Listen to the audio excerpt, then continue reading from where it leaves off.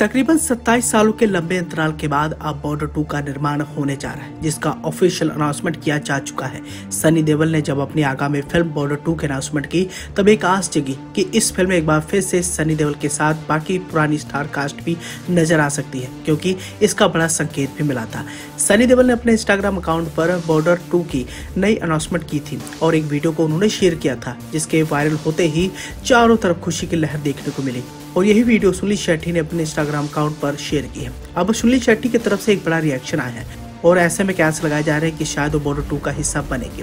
जानकारी के लिए बताना चाहेंगे कि आज से तकरीबन 27 साल पहले जब बॉर्डर फ़िल्म का निर्माण किया गया था तो जेपी दत्ता ने इस फ़िल्म की कहानी को बड़े पर्दे पर काफ़ी बखूबी तरीके से दिखाया भी था। यही बड़ी वजह है की फ़िल्म की स्टार कास्ट एक बार फिर से चर्चाओं के केंद्र में आ चुकी है, क्योंकि बॉर्डर फ़िल्म में जितनी भी स्टार कास्ट थी, काफ़ी दमदार थी। चाहे वो सनी देवल हो, चाहे सुनील शेट्टी हो, चाहे जैकी श्रॉफ लेकिन माना जा रहा था कि बॉर्डर टू में पुरानी स्टार कास्ट को दोबारा से रिपीट नहीं किया जाएगा। उनकी जगह नए कलाकारों को मौका दिया जाएगा। और इस बारे में जब सोशल मीडिया इंटरेक्शन के दौरान सुनील शेट्टी से पूछा गया तो उन्होंने जो रिएक्शन दिया है उससे आप तो साफ़ तौर पर समझ सकते हैं कि सुनील शेट्टी भी इस फ़िल्म का हिस्सा होने वाले हैं। क्योंकि अगर ऐसा नहीं होता तो अपने सोशल मीडिया अकाउंट पर वो गदर टू के अनाउंसमेंट वाली वीडियो नहीं शेयर करते।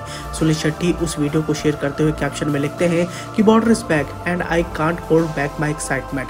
Proud, proud, proud of you. And a huge congratulation to the mighty battalion history is in the making again Suniel Shetty के इस कैप्शन की वजह से आप भी समझ सकते हैं कि वो भी इस फ़िल्म का हिस्सा बनने के लिए काफ़ी ज़्यादा बेकरार है और शायद वो इस फ़िल्म का हिस्सा भी हो, क्योंकि अगर ऐसा नहीं होता तो सुनील शेट्टी अपने इंस्टाग्राम अकाउंट पर इस फ़िल्म के अनाउंसमेंट वाली वीडियो को शेयर नहीं करते। साथ ही उन्होंने अपनी एक्साइटमेंट को भी दुनिया के सामने रख दिया है।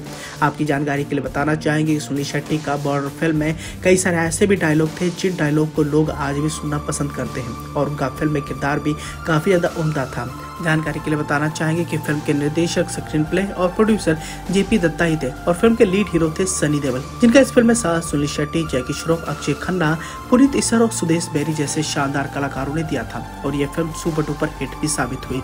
इस फ़िल्म का बजट तकरीबन उस समय नौ से दस करोड़ रुपए के आसपास था, लेकिन इस फ़िल्म ने अपनी लागत से कई गुना कमाई करके तकरीबन सत्तर से अस्सी करोड़ रुपए के बीच में कमाई की थी और इस फ़िल्म ने एक हिस्ट्री क्रिएट कर दिया था। वैसे इस फ़िल्म की कहानी सच्ची घटना पर आधारित थी। इंडिया और पाकिस्तान के हुए साल उन्नीस सौ इकहत्तर के युद्ध की गाथा को बड़े पर्दे पर जेपी दत्ता ने जिस हिसाब से पेश किया था, वो वाकई लाजवाब था।